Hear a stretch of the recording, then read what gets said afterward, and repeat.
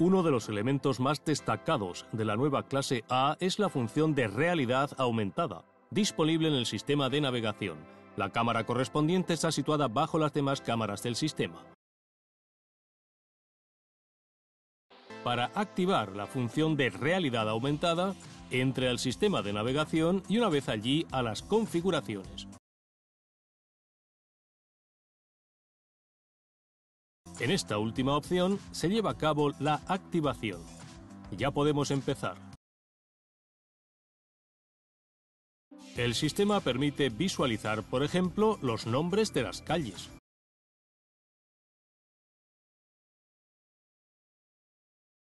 Si desea cambiar de dirección, la flecha indicadora se proyectará directamente hacia el carril correspondiente.